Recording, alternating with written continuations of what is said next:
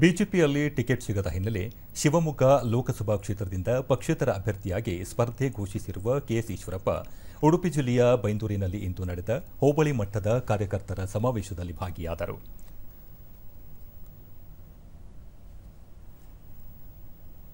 ಬಳಿಕ ಅವರು ಕಳೆದ ನಲವತ್ತು ವರ್ಷಗಳಿಂದ ಬಿಜೆಪಿಯಲ್ಲಿ ನಿಷ್ಠಾವಂತ ಕಾರ್ಯಕರ್ತನಾಗಿ ದುಡಿದಿದ್ದರೂ ಲೋಕಸಭಾ ಚುನಾವಣೆ ಸ್ಪರ್ಧೆಗೆ ಅವಕಾಶ ದೊರೆಯಲಿಲ್ಲ.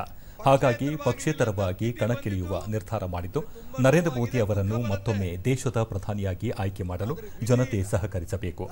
ತಾವು ಜಯ ಗಳಿಸಿ ಪ್ರಧಾನಿ ಅವರನ್ನು ಬೆಂಬಲಿಸುವ ಸಂಕಲ್ಪ ಮಾಡಿರುವುದಾಗಿ ತಿಳಿಸಿದರು. ಈ ಚುನಾವಣೆ ಸ್ಪರ್ಧೆ ಮಾಡಿದ್ದೇನೆ. ನಾನು ಕಿತ್ತು ಬಿಸಾಕ್ಬೋದು ಪಕ್ಷದಿಂದ. ಎರಡೇ ತಿಂಗಳಲ್ಲಿ ಚುನಾವಣೆ ಗೆಲ್ತೇನೆ, ಮತ್ತೆ ಬಿಜೆಪಿ ಪಾದಕ್ಕೆ ಹೋಗಿ ಬೀಳ್ತೇನೆ. ಇದರಲ್ಲಿ ಯಾವ ಅನುಮಾನ ಬೇಡ.